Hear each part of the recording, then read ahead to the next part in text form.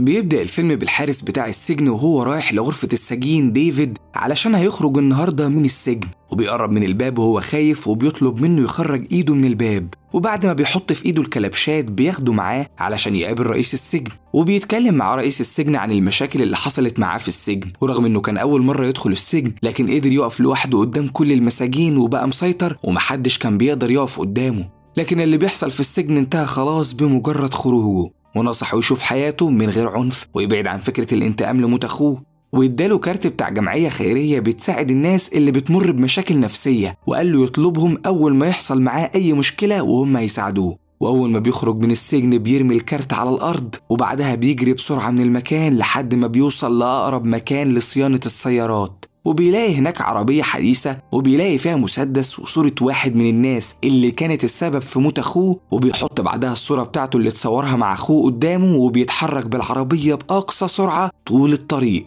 ولما بيدخل المدينة بينزل من العربية وبيمشي في وسط الطريق بتاع العربيات وكأنه مش فارق معاه الموت. وبيدخل المبنى اللي قدامه وبيمشي من وسط الموظفين لحد ما بيلاقي قدامه الشخص اللي كان في الصورة. وساعتها بيتصدم الشخص ده وأول ما بيقف قدامه بيضربه ديفيد رصاصة في راسه وبيموت في ساعتها. وبيتصدم الناس كلها من اللي عمله وبيخافوا منه جدا وبيلاحظ ديفيد إن كان في كاميرا في المكان وبيمشي بسرعة قبل ما الشرطة تظهر. وبيجي بعدها رجال الشرطة فعلا وبيحققوا في الموضوع. وفي الوقت ده بيروح ديفيد عند واحد من معارفه قدر يعرف مكان كل الناس اللي كانت السبب في موت أخوه. وهنا بنعرف إن الشخص ده هو اللي كان سايب العربية لديفيد في مكان قريب من السجن علشان يقدر يتحرك بيها بعد ما يخرج. وبيديله ديفيد الفلوس اللي اتفقوا عليها علشان ياخد منه الورق اللي موجود فيه كل حاجة عن الناس دي لكن ساعتها صديقه قال له إن السعر ارتفع وهيحتاج منه فلوس أكتر من اللي اتفقوا عليها مقابل الورق. وهنا اتضايق ديفيد جدا وفهمه إن بسبب كلامه السعر هيبقى أقل من اللي اتفقوا عليه وبيقرب عليه ساعتها الحارس بتاع المكان علشان يتحداه. ولما بيشوف الوشم اللي على إيد ديفيد اللي كان بيسجل فيه عدد الناس اللي قتلها في السجن بيخاف منه جدا علشان فهم إنه شخص خطير ومش هيقدر يتحداه. وبيسيبهم وبيخرج بسرعة من المكان.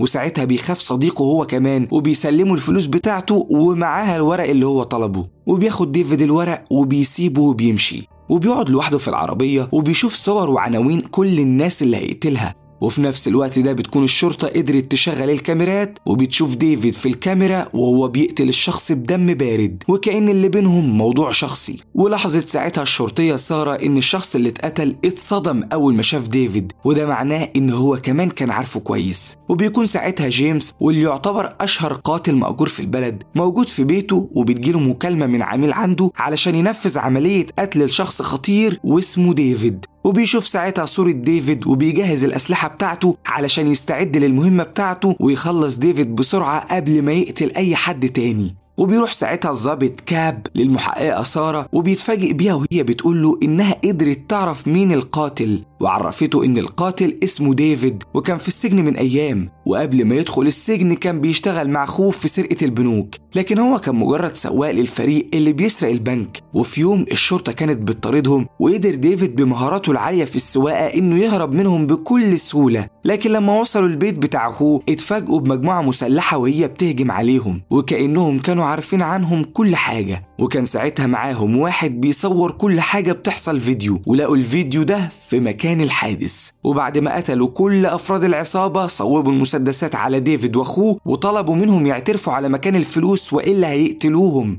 وساعتها حاول اخو ديفيد يستمر معاهم في التفاوض لكن رفض يقول لهم أي حاجة علشان ما يخسرش الفلوس. لكن بيخاف ديفيد على أخوه وبيقول لهم على مكان الفلوس وأول ما بيعرفوا مكانها بيذبح واحد منهم أخوه والتاني بيضرب ديفيد رصاصة في راسه وبيقعوا الاتنين على الأرض وهم مقتولين. لكن المعجزة اللي حصلت إن ديفيد فاق في المستشفى علشان الرصاصة دخلت من راسه وطلعت من بقه من غير ما تصيب الأجهزة الحيوية في راسه. وساعتها الدكتور حط له شريحة حديد في راسه علشان يقدر يعيش زي بقية الناس. وطبعا بعدها دخل السجن بتهمة السرقة لكن الغريبة إن رغم إصابته قدر يقاتل قدام كل المساجين لوحده. وما انضمش لأي جماعة داخل السجن. وفي الغالب هو بيحاول دلوقتي يقتل كل الناس اللي كانت السبب في موت أخوه. ومع الوقت بيوصل ديفيد للشخص التاني وأول ما بيدخل عليه الأوضة بيتصدم الراجل وبيترجاه إنه يسيبه عايش. لكن ديفيد كان مصمم على قراره وصوب عليه المسدس وقتله في ساعتها. وأول ما خرج من البيت اتفاجئ بجيمس وهو بيصوب عليه المسدس وبتخرج ساعتها طفلة من البيت اللي قدامه لكن بيقدر ديفيد ينقذها وبيضربوا الاتنين على بعض نار. ورغم إن جيمس كان قاتل محترف لكن ديفيد كان أسرع منه وكان بيقرب عليه وهو مش فارق معاه الموت. وبيستنى بعدها اللحظة المناسبة وبيهرب من المكان وبيختفي من قدام جيمس. وبتوصل بعدها الشرطة لمكان الحادث وبيكتشفوا إن ديفيد هو اللي كان ورا قتل الراجل. لكن المفاجأة إن كان في شخص تاني هجم عليه وضربوا الاتنين على بعض بالمسدسات. ومن كلام الناس بيظهر إن الشخص التاني ده كان جميل وكأنه زي نجوم السينما. واستغرب كاب من كلام سارة وفهم إن الموضوع مع الوقت بيخرج عن السيطرة وإنهم لازم يتصرفوا في أسرع وقت. وبيوصل ساعتها ديفيد للحانة اللي بيشتغل فيها الشخص التالت وبيدخل هناك وبيراقب المكان على أمل إنه يلاقيه. وبيشوفه ساعتها وهو داخل الحمام وبيدخل وراه الحمام هو كمان. وبيتصدم أول ما بيشوف ديفيد وهو واقف قدامه. وبيطلب من عامل النظافة يخرج من الحمام وما يقولش لأي حد عن اللي بيحصل. وساعتها ديفيد بيقفل الباب وبيمسك السلاح في إيده وبيقف قدامه وهو مستعد للقتال. وبيمسك الشخص التاني السلاح هو كمان وبيهجم عليه بكل قوته. لكن ديفيد كان أسرع منه وقدر يصد كل ضرباته. وضربه لكمات قوية بعنف ولما الراجل حاول يهجم عليه تاني مسك إيده وطعنه أكتر من طعنة في جسمه ووقع ساعتها على الأرض وهو بيحتضر. واعتذر لديفيد عن اللي عمله وطلع التليفون من جيبه وترجاه يتصل بابنه ويعرفه إنه هو خذله ويتمنى إن ابنه يكون أحسن منه في يوم من الأيام. وبيسيبوا ديفيد وهو غرقان في دمه وبيخرج من المكان وبيتصل بابنه فعلا وبيعرفه إن أبوه مات. وتاني يوم بيتكلم كاب مع سارة وبيقول لها إن هو حاسس إن ديفيد هو اللي قتل الشخص التالت في الحانة ولأن الشخص ده لسه عايش وموجود في المستشفى. بين الحياة والموت فاحتمال كبير إن ديفيد يروح المستشفى علشان يقتله ويتأكد بنفسه إن هو مات. لكن سارة اعترضت على كلامه وفهمته إن كلامه لو كان صح فده معناه إنه هيبقى في خطر لو راح المستشفى لوحده من غير القوات بتاعة الشرطة. لكن كاب بيرفض ياخد معاه القوات وبيقفل المكالمة معاها وبيكون ساعتها ديفيد ماشي بالعربية. وأول ما بيسمع في الأخبار إن الراجل بين الحياة والموت وموجود في المستشفى بيقرر يروح بسرعة هناك علشان يخلص منه. وبيوصل بعدها للمستشفى وبيدخل غرفة العمليات وبيقف قدام الدكاترة والممرضات وبيصوب عليه المسدس وبيضربه أكتر من رصاصة وبيقتله من غير رحمة. وبيوصل ساعتها كاب وبيطارده في المستشفى وبيصوب عليه المسدس وبيحاول يقتله لكن ديفيد قدر يتفادى الرصاص وضرب عليه نار هو كمان. وبيقف ساعتها كاب ورا الحيطة وأول ما بيطلع منها بيتفاجئ بديفيد وهو واقف قدامه ومصوب عليه المسدس. وساعتها بيخاف جدا وبيرمي المسدس من إيده وبينزل على ركبته وبيغمض عينه وهو مستسلم للموت. لكن بعدها بيفتح عينه ومش بيلاقي ديفيد قدامه. وبيعرف إنه مش عاوز يقتل غير الناس اللي كانت السبب في موت أخوه. وبيتحرك ديفيد بسرعة بالعربية لكن بيتفاجئ بجيمس وهو بيطارده طول الطريق بالعربية. وساعتها ديفيد بيتغير بيتغلب عليه في السواقة وبيقف قدامه بالعربية وبيصوب عليه المسدس وبيضرب رصاصة في كاوتش العربية وبيرفض يقتله هو كمان. لكن جيمس بيطلع المسدس بسرعة وبيضربه رصاصة في رقبته علشان يقتله. لكن الرصاصة بتكون سطحية وبيقدر يهرب بسرعة قبل ما جيمس يضربه مرة تانية. وبيروح بعدها لست عجوزة وبيصوب عليها المسدس وهي نايمة وبيسألها عن مكان جوزها وبيتضايق ساعتها لما بتقول له إن جوزها مات من ثلاث سنين لما هو كان في السجن.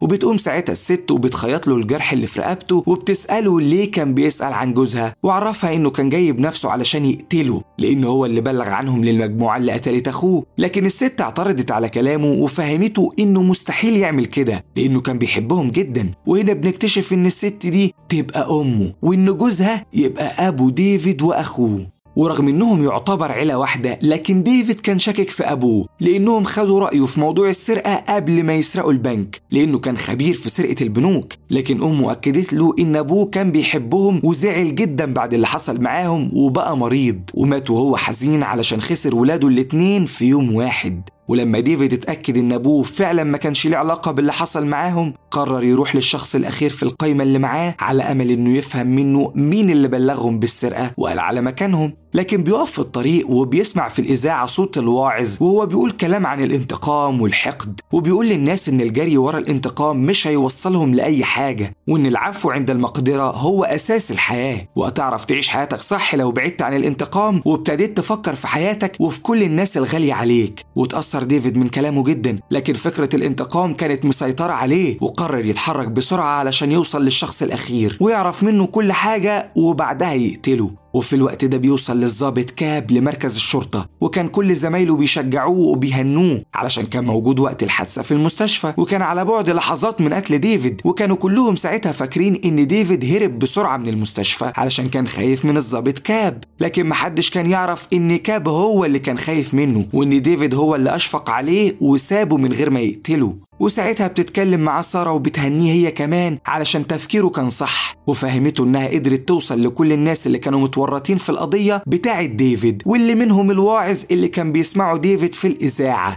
ومع الوقت بيوصل ديفيد للمكان اللي موجود فيه الواعظ وبيدخل القاعة بتاعته وبيشوفه وهو بيتكلم مع الناس عن الكتاب المقدس وإن الدين هو أساس الحياة وكل الحاجات الصح موجودة في كتب الدين. لكن بيتصدم أول ما بيشوف ديفيد وهو واقف قدامه وبيطلب ساعتها من الناس إنها تغني معاه وبيروح علشان يتكلم مع ديفيد. وبيعرفه إن هو كان متوقع حضوره لأنه مش قادر يسامح نفسه من ساعة موت أخوه. وبتدخل ساعتها مرات الواعظ وبتسأله لو كان بيواجه مشكلة لكن الواعظ بيفهمها إن ديفيد صديق قديم ليه وهو هيقعد معاه شوية وطلب منها تسيبه مع صديقه وترجع هي للبيت وهو هيبقى يرجع آخر اليوم. ولما بتمشي بيخرج مع ديفيد من الخيمة وبيمشوا مع بعض قريب من الشاطئ وبيسألوا ديفيد عن الطفل اللي كان مع مراته وساعتها الواعظ قال له إن الطفل ده يبقى ابنه بالتبني وفهموا إنه متبني خمس أطفال من أطفال الشوارع علشان يربيهم أحسن تربية ويعوضهم عن الظروف الصعبة اللي هم مروا بيها وكمان علشان يكفر عن ذنوبه اللي عملها زمان. وطلب من ديفيد ينسى فكرة الانتقام ويركز في حياته والحاجات الحلوة اللي ممكن يعملها لو بعد عن الانتقام. وبقى بيعيش زي الناس الطبيعية. وعرفه إنه كان بيعمل حاجات غلط كتير لكن عمره ما قتل حد. ولما راح مع أصدقائه علشان يسرقوا ديفيد وأخوه ما كانش يعرف إنهم هيقتلوهم. وعلشان كده انهار من الموقف. أول ما واحد منهم ذبح أخوه وقتله قدامهم. ومن ساعتها وهو بيشوف كوابيس. ولما خد حصته من الفلوس اللي سرقوها منهم صرفها على شرب الخمر لحد ما دخل السجن ثلاث سنين. وساعتها اتغير اتغيرت حياته وعرف طريق الدين وخرج من السجن شخص صالح عاوز يعمل أي حاجة علشان يكفر عن ذنوبه.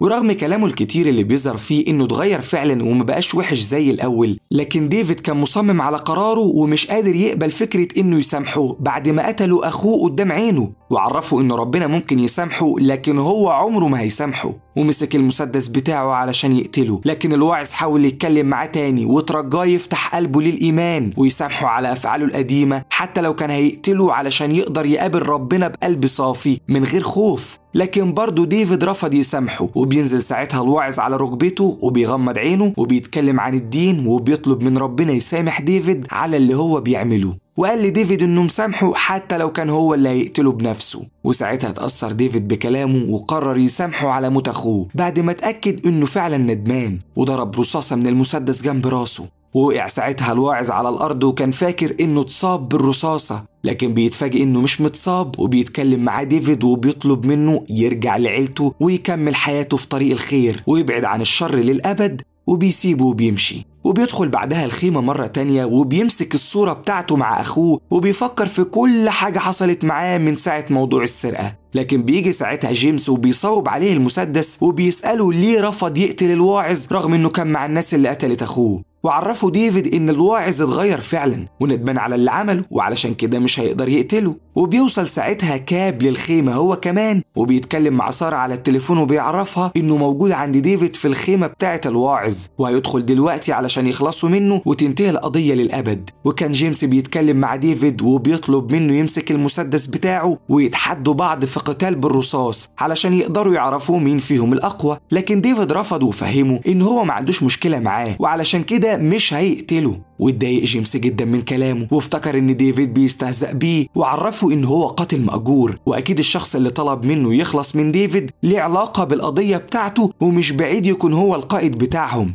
واستغرب ديفيد من كلامه واتفاجئوا الاتنين بالظابط كاب وهو مصوب عليهم المسدس وبيطلب من جيمس يرمي المسدس وبيضطر جيمس يسمع كلامه وبيتفاجئ بيه وهو بيضرب ديفيد رصاصة في راسه وبيقتله في ساعتها. وبيتضايق منه ساعتها جدا وبيعرفه إن كاب هو العميل اللي طلب منه يقتل ديفيد لأن هو كمان متورط معاهم في القضية وكان فاكر إن ديفيد عاوز يقتله هو كمان لكن اللي هو ما كانش يعرفه إن الورق اللي كان مع ديفيد ما كانش فيه غير الناس اللي قتلها وإنه ما كانش يعرف إن كاب متورط في القضية. وبيخرجوا الاتنين من الخيمة وبيتكلم كاب في التليفون مع مراته وبيقول لها إن القضية انتهت وقدر يخلص من الشخص اللي كان عاوز يقتله. لكن بيتفاجئ بديفيد وهو بيضربه رصاصة في راسه وبيفهمه إنه لسه عايش علشان الرصاصة اللي ضربها عليه جت في الشريحة المعدنية اللي كانت في راسه. وبيضربه أكتر من رصاصة في جسمه وبيمشي بعدها من المكان وبيقعد مع نفسه وهو مرتاح علشان قدر ينتقم لأخوه. وبيقرر يعيش حياته في سلام ويبعد عن المشاكل والشر للأبد. وانتهى فيلمنا ويا رب يكون عجبكم واللي حابب يتابعنا ويشوف بقية الأفلام يشترك ويفعل الجرس.